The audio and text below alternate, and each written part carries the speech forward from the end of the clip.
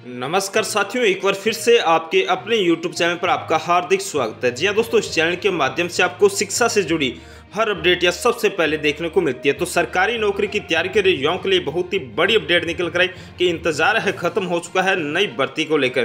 पंचायती राज विभाग के अंदर 6,500 पदों पर भर्ती की विज्ञप्ति जारी हो चुकी है। बिल्कुल सही देख पा रहे हैं। और इसमें आवेदन की बात करें तो 15 अप्रैल से आवेदन शुरू हो चुके हैं। तो वीडियो के एंड तक बने रहिए लास्ट तक देखें ताकि आपको नई भर्ती को लेकर जो बड़ी अपडेट निकल कर आई उसकी संपूर्ण जानकारी प्राप्त हो सके। अगर चैनल पर न हो तो सब्सक्राइब ज़रूर कर लीजिए ऐसे ही भर्ती से जुड़ी अपडेट सबसे पहले इस चैनल के माध्यम से देखने को मिलती है। तो चलिए बढ़ते हैं क्या पूरी अपडेट। जी साथियों देख सकते हैं कि पंचायती राज विभाग के अंदर 6,500 पदों पर यह भर्ती निकली है और आवेदन की बात करें तो 15 अप्रैल से आवेदन शुरू हो चुके हैं।